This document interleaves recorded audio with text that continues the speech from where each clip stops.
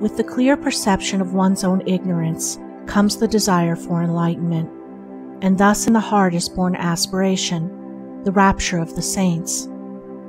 On the wings of aspiration man rises from earth to heaven, from ignorance to knowledge, from the under darkness to the upper light. Without it he remains a groveling animal, earthly, sensual, unenlightened and uninspired. Aspiration is the longing for heavenly things, for righteousness, compassion, purity, love, as distinguished from desire, which is the longing for earthly things, for selfish possessions, personal dominance, low pleasures, and sensual gratifications. As a bird deprived of its wings cannot soar, so a man without aspiration cannot rise above his surroundings and become a master of his animal inclinations. He is the slave of passions, is subject to others, and is carried hither and thither by the changing current of events. For one to begin to aspire means that he is dissatisfied with his low status and is aiming at a higher condition. It is a sure sign that he is aroused out of his lethargic sleep of animality and has become conscious of nobler attainments and a fuller life. Aspiration makes all things possible. It opens the way to advancement. Even the highest state of perfection conceivable it brings near and makes real and possible, for that which can be conceived can be achieved. Aspiration is the twin angel to inspiration. It unlocks the gates of joy. Singing accompanies soaring.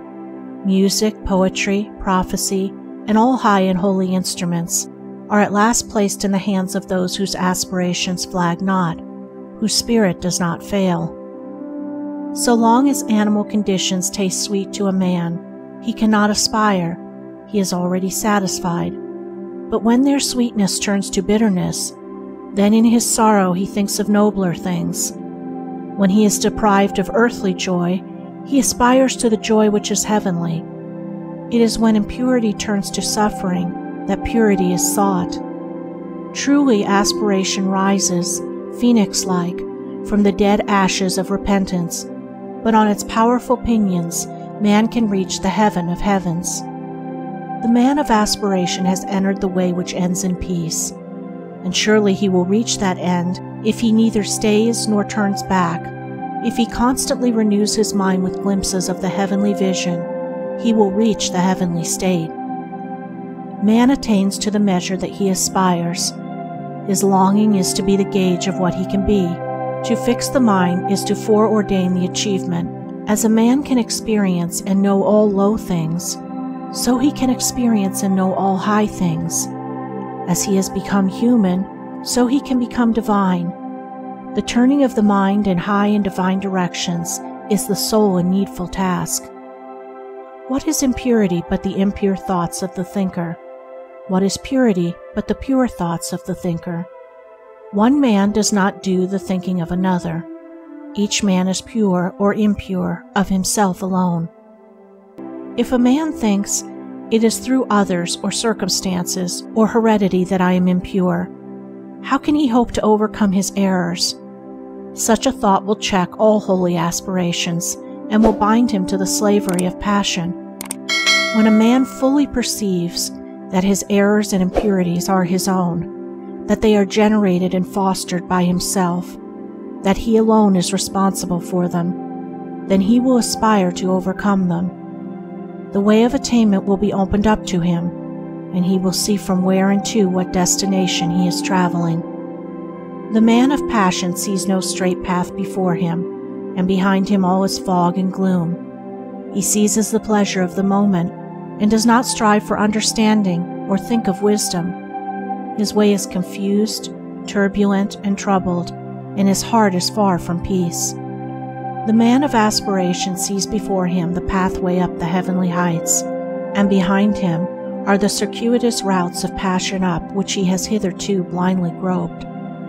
Striving for understanding, and his mind set on wisdom, his way is clear, and his heart already experiences a foretaste of the final peace. Men of passion strive mightily to achieve little things, things which speedily perish, and in the place where they were, leave nothing to be remembered.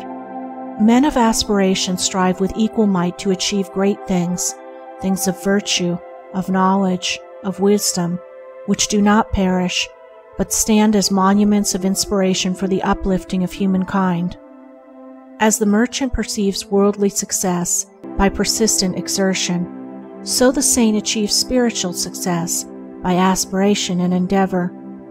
One becomes a merchant, the other a saint, by the particular direction in which his mental energy is guided. When the rapture of aspiration touches the mind, it at once refines it, and the dross of its impurities begin to fall away. While aspiration holds the mind, no impurity can enter it, for the impure and the pure cannot at the same moment occupy the thought. But the effort of aspiration is at first spasmodic and short-lived. The mind falls back into its habitual error and must be constantly renewed. The lover of the pure life renews his mind daily with the invigorating glow of aspiration. He rises early and fortifies his mind with strong thoughts and strenuous endeavor. He knows that the mind is of such a nature that it cannot remain for a moment unoccupied, and that, if it is not held and guided by high thoughts and pure aspirations, it will assuredly be enslaved and misguided by low thoughts and base desires. Aspiration can be fed, fostered, and strengthened by daily habit, just as desire. It can be sought and admitted into the mind as a divine guide, or it can be neglected and shut out. To retire for a short time each day to some quiet spot, preferably in the open air, and there call up the energies of the mind in surging waves of holy rapture, is to prepare the mind for great spiritual victories and destinies of divine import. For such a rapture is the preparation for wisdom and the prelude to peace. Before the mind can contemplate pure things, it must be lifted up to them. It must rise above impure things, and aspiration is the instrument by which this is accomplished. By its aid, the mind soars swiftly and surely into heavenly places and begins to experience divine things.